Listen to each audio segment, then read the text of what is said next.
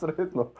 Ne, ja mogu reći da to bio najbolji potez koji sam napravio. Mislim, u tom trenu se možda nije činio kao najbolji potez nekim ljudima, ali ja čvrsto i sa svojom obitelji u tom trenu smo odlučili da bi to moglo biti dobro za moj igrački razvoj, jer e, Legija me, dugo me, dugo me skautirala i, i, i htjeli su me stvarno, rekli su da bi bio dio prve momčadi, te bi igrao je za B ekipu, dakle tamo treću njihovu ligu, što je meni bilo bitno da odmah ja e, vrlo rano krenem sa seniorima da se, da se učim, jer nije, nije lagan taj prelaz iz juniorskog u seniorski nogomet.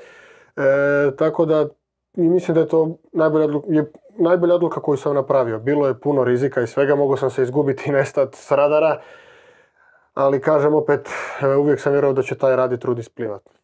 Ali si, si bio sam, sam tamo ili... Ne, p- p- tu godinu, prvu godinu kad sam otišao, mama je cijelo vrijeme bila sa mnom, tata i brat su dolazili koliko su mogli i čak drugu polusezonu brat je tamo igrao za njihovog drugoligaša, e, tako da stvarno bili su tu uz mene cijelo vrijeme, jer mislim 16, poslije 17 godina isto još si dijete, tako Da, da, e, da sam bio sam, ne znam kako bi to završilo, ovako izveli su me stvarno na pravi put i njima sve dugujem.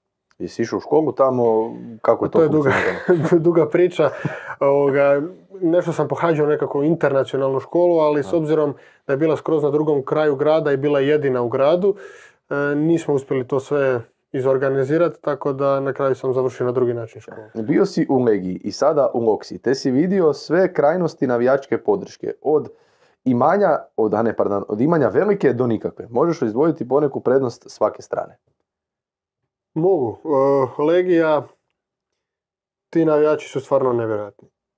Kakve koreografije mogu smisliti, e, kakva podrška mogu biti, ali u, mogu nekad biti ona, onaj pritisak koji, koji, koji nosi stvarno ono, ne znam, stvarno je preljepo igrati pred njihovim navijačima, ali nekad mogu biti pritisak, a što se tiče to što s lokomotivom, mislim, nemaju ultrase, nemaju, e, nemaju tako neke navijače, kažem to opet, bude dobro da tu nemaš pritiska.